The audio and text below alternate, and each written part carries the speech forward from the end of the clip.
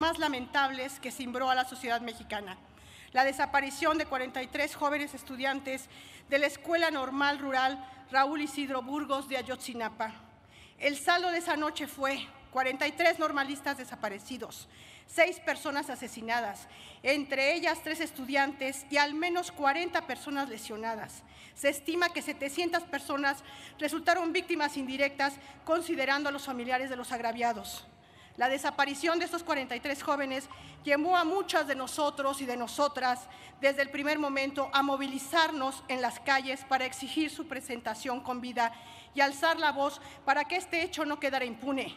Y desde aquel septiembre de 2014, las protestas y manifestaciones no se han detenido. Las madres y padres de los estudiantes se han vuelto incansables en la lucha por la búsqueda de la verdad y la justicia. Ayotzinapa expuso una situación sin precedentes. Integrantes del ejército mexicano estuvieron involucrados en la desaparición de los estudiantes. Sin embargo, esto fue el resultado de una estrategia de militarización de la seguridad pública que comenzó en 2012, la cual debilitó a las policías y a fiscalías locales. La verdad histórica que quiso construir el gobierno del entonces presidente Peña Nieto terminó por desmontarse. El gobierno de López Obrador inició con un compromiso público de esclarecer los hechos, brindar justicia a las víctimas y dar castigo a los culpables. Sin embargo, concluye su mandato con una gran deuda con las madres y padres de Ayotzinapa, pues dicha verdad y justicia no llegaron. Las respuestas obtenidas por los familiares de los 43 de las instancias de gobierno no han sido certeras ni mucho menos han contribuido al esclarecimiento de los hechos y el conocimiento de la verdad.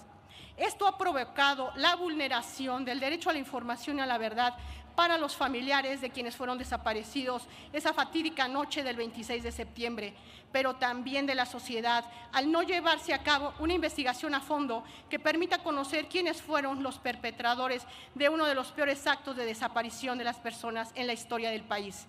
Parte de esa vulneración se ha reflejado en la denuncia del Grupo Interdisciplinario de Expertos Independientes sobre la negación del acceso a los archivos de la Secretaría de la Defensa Nacional y el encubrimiento de algunos actores claves. El resultado, los padres y madres no quisieron recibir el último informe de la Comisión para la Verdad y Acceso a la Justicia del caso Ayotzinapa, porque el documento no ofrece respuesta a sus preguntas, ni les garantiza acceder a los archivos completos de las Fuerzas Armadas, ni refuerza la posibilidad del retorno al país de quienes estuvieron involucrados y sean juzgados y tampoco hay pistas para la verdad y la justicia. Asimismo, se hicieron señalamientos y descalificaciones desde el púlpito presidencial en contra de organizaciones defensoras de derechos humanos que han acompañado al colectivo de familiares de Ayotzinapa, lo cual enturbió aún más el esclarecimiento de los hechos.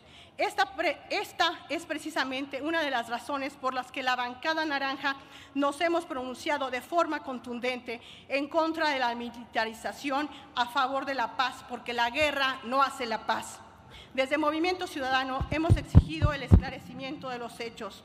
Ahora que inicia una nueva administración, esperamos que la presidenta Claudia Sheinbaum retome las demandas en torno a este caso y que ofrezca mayor apertura y transparencia y diálogo con las madres y padres de Ayotzinapa para que la verdad y justicia llegue a ellos. Los familiares de los jóvenes de Ayotzinapa encabezan una de las luchas más ejemplares por la justicia, la memoria, la dignidad de todas las personas debemos acompañar, porque de lo contrario estaríamos abandonando a la impunidad este hecho. Vivos se los llevaron, vivos los queremos. Termino, Presidenta. Ha sido este el grito de dolor de familiares y personas cercanas a los normalistas. Desde la bancada naranja acompañamos esta lucha y nos comprometemos a no olvidar ni abandonar la búsqueda de la verdad y la justicia para familiares de Ayotzinapa, pero también para el resto de colectivos de madres buscadoras que existen en el país y que no desisten de encontrar a sus familiares desaparecidos. Por favor, Desde Movimiento Ciudadano decimos fuerte y claro, ni perdón ni olvido para este hecho, verdad y justicia para los familiares de las víctimas. Es cuanto. Gracias, diputada. Tiene ahora el uso de la palabra el diputado Juan.